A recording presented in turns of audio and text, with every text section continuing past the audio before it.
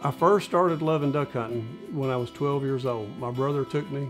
My brother's name's Danny, and he was seven years older than I was, so he was 19, you know, full-grown man, and he'd take me duck hunting, and we were just buddies, and from then on, I've loved it. In 1975, I wanted to make my own call. So I wanted to make one just for myself to use. And so I didn't have anybody to tell me how to do it, so it took a lot of trial and error to make one right. And when I got one to work, I liked it. It was okay, but it wasn't great. And a friend of mine wanted it, so I gave it to him. And I did that again, and another friend wanted one, and I gave it to him. But the third one really came out good, and I really wanted to keep it.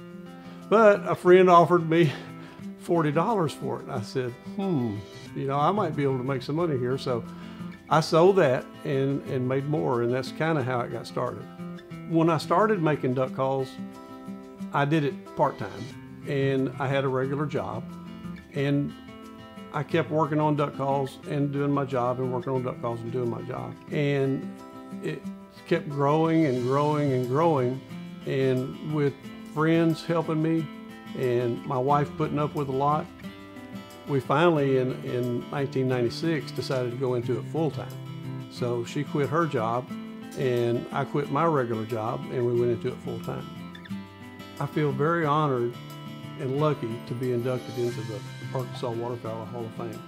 A lot of people might have done more things than I have and there might be a lot of people out there that deserve it even more than me.